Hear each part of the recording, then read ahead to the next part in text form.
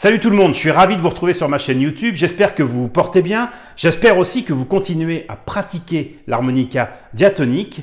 Dans cette vidéo, je vous propose d'aborder le meilleur rythme pour débutants à l'harmonica diatonique. Alors je reconnais volontiers que le titre est un peu racoleur, mais je ne suis pas loin de le penser. Avant d'aborder ce sujet captivant, je vous invite bien évidemment à liker cette vidéo et à vous abonner à ma chaîne YouTube si vous ne l'avez pas encore fait. En fait, et vous l'aurez peut-être déjà deviné pour certains, je vous propose qu'on travaille sur le rythme emblématique du blues, le rythme le plus répandu, celui que l'on doit connaître lorsqu'on s'initie au blues, le 12 bar blues, le blues en 12 mesures. Alors pourquoi considérer que le blues, et particulièrement le blues en 12 mesures, que cette rythmique est peut-être la plus adaptée à un harmoniciste débutant? Eh bien peut-être parce que déjà, c'est un langage universel, ce blues en 12 mesures. Le blues est une musique assez accessible, même lorsque l'on débute, on peut facilement s'initier au blues, facilement faire quelque chose, donc c'est quand même assez pratique pour travailler sa technique à l'harmonica, parce que Là est vraiment le sujet. En fait, au travers de ce blues en 12 mesures qu'on peut adapter au niveau de la vitesse, eh bien, je vais vous proposer un exercice qui va vous permettre de travailler notamment la rythmique, évidemment, ça c'est la base, mais surtout aussi le jeu en accord lié au jeu en notes isolées, parce que lorsque l'on débute, c'est toujours un peu délicat de passer du jeu en accord au jeu en notes isolées, et voire même de jouer les notes de manière isolée et de manière très claire. Donc ce petit exercice, il va vous aider à travailler le rythme, et là particulièrement ce blues en 12 mesures, à enchaîner des accords notamment, mais pas que, et puis il va vous aider aussi à vous améliorer dans votre technique de jeu.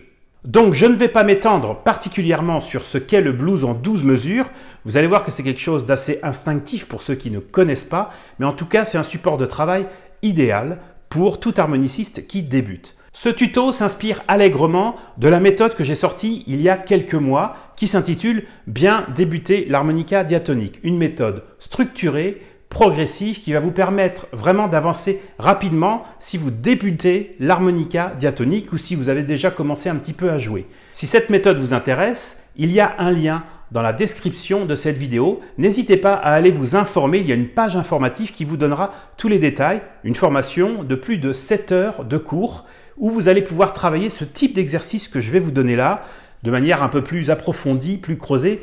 Et honnêtement, une formation, quelque chose de compact, de consistant, c'est quand même plus intéressant que d'aller grappiller quelques tutos par-ci par-là. Ces tutos-là, ils sont utiles, mais une formation, un bloc, avoir une base solide, c'est quand même bien pour progresser un peu plus vite. Ouais, c'est pas faux.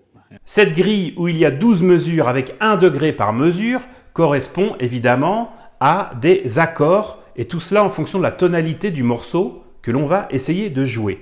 Ici, on va prendre son harmonica en Do, et on va jouer une grille en 12 mesures en Sol. On appelle cela, pour un harmoniciste, jouer en seconde position.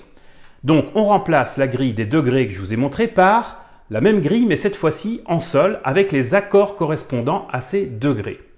Donc, vous voyez, la notation est américaine. Les quatre premiers accords, c'est-à-dire les quatre premières mesures, hein. un accord par mesure, c'est G, ce qui veut dire Sol en français. Ensuite, on va jouer deux accords de C, c'est-à-dire de Do. Ensuite, on revient sur deux mesures ou deux accords en Sol, c'est-à-dire en G.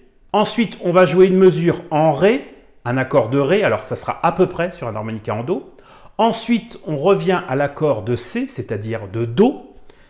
Puis, on continue sur l'accord de Sol, l'accord du blues en fait, hein, le blues en Sol, le G. Et on termine par un accord de Ré. Et puis ensuite, on recommence cette boucle de 12 mesures, quelque chose de très universel entre musiciens, qu'on soit américain ou français, lorsqu'on parle d'un blues en 12 mesures, on sait que c'est cette structure-là. Ce que je vous propose dans ce tuto, c'est de jouer l'accord qui correspond, et ensuite de jouer la note, c'est-à-dire G, accord de sol, ensuite on joue un sol.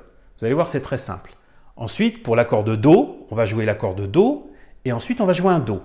Accord de Ré, on joue l'accord de Ré ou à peu près l'accord de Ré, et on sort un Ré. Vous voyez, vous comprenez le système, donc c'est très simple. Alors, on commence par 4 mesure en sol.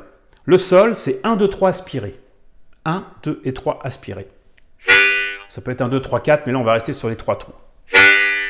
D'accord? Et pour jouer le sol en note isolée, c'est le 2, c'est la note du milieu.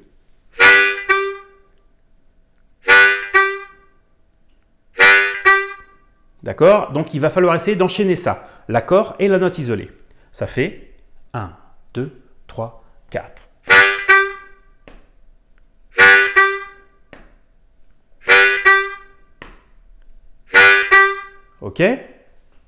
Ensuite, on va passer sur l'accord de Do. Alors, l'accord de Do, on peut le faire 3, 4, 5, 3, 4, 5 soufflé, et le Do, il est au niveau du 4 soufflé. Donc, on va souffler 3, 4, 5, puis jouer le Do, Do en note isolée, le 4 soufflé. Vous voyez, ça vous oblige à passer du jeu en accord au jeu en note isolée. Donc, on fait deux fois le Do. Ensuite, on revient sur 1, 2, 3, aspirer, accord de sol, deux fois. Et on isole le sol. Ensuite, on passe à l'accord de Ré ou à peu près l'accord de Ré, c'est-à-dire 3, 4, 5 aspiré. Et on vient aspirer le 4 qui est le Ré. Ensuite, on repasse au Do.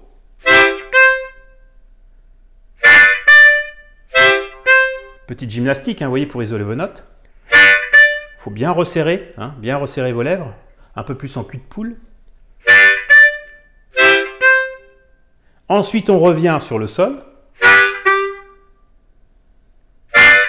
Et on termine par le Ré, accord de Ré et le Ré 4 aspiré.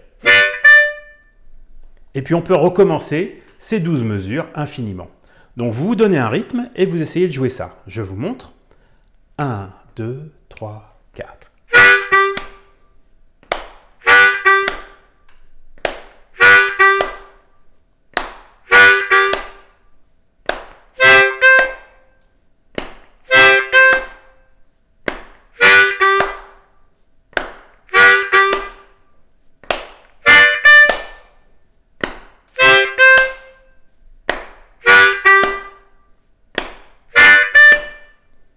Et on recommence. À vous de faire ça tout seul, en vous imposant un rythme, en essayant de le tenir. Si vous avez du mal, n'hésitez pas à utiliser un métronome. Ça va vous aider grandement au début en tout cas.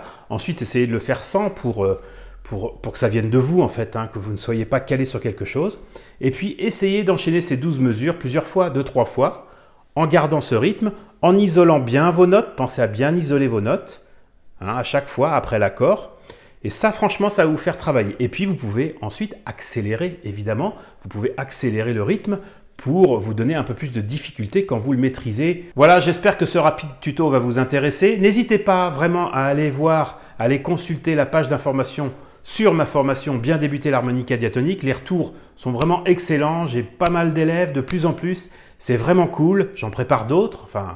J'y pense en tout cas, mais n'hésitez pas à aller vous informer parce que le coût n'est pas très élevé, c'est un accès à vie, vous avez plus de 7 heures de vidéo que vous pouvez découper, vous gérez vous-même votre planning, donc c'est quand même top. Et puis moi, je vous dis à très bientôt pour un nouveau tuto ou pour une nouvelle vidéo.